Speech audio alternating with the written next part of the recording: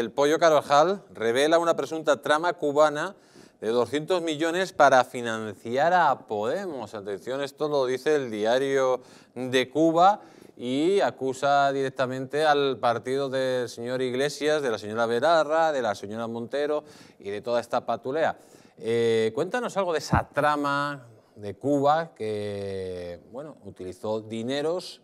eh, pues dineros no muy claros, para financiar al Partido Procomunista Podemos? Mira, por años en Venezuela se ha estado conversando sobre esa tercerización de recursos a través de La Habana. No es la primera vez que lo escuchamos, de hecho, eh, si la gente nos sigue en nuestro blog Venezuela Política, allí van a conseguir una serie de evidencias que muestran ese trasiego que se hace del dinero proveniente de PDVSA, de Cidgo y de otras empresas del Estado a cuentas en La Habana, no solamente para pagar los,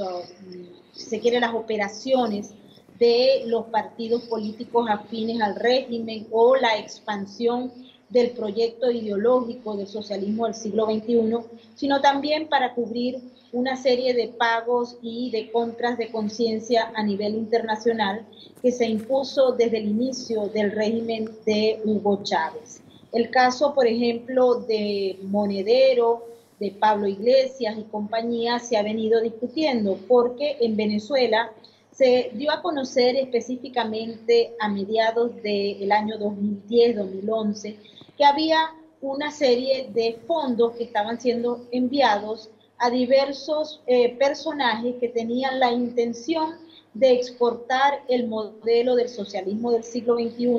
a Europa y a otros países y se creó una especie de eh, caja chica o partida secreta para poder cubrir la eh, expansión del modelo del chavismo. Y cuando eso ocurrió, que se hicieron algunas denuncias y se pidió que se investigara, aparecieron los nombres de Juan Carlos Monedero y de Pablo Iglesias, entre otros, así como también de personajes de América del Sur y de otros países de Europa que estaban intentando llegarle a la famosa renta petrolera que durante la época de Chávez, en ese periodo, se multiplicó eh, desde el punto de vista de barriles de petróleo y de dólares, porque costaba más o menos 100 dólares un barril de petróleo y eso hizo que Chávez contara con recursos infinitos para poder comprar conciencia y crear el modelo de socialismo del siglo XXI en España y en otros países, como te digo, incluyendo los mismos Estados Unidos.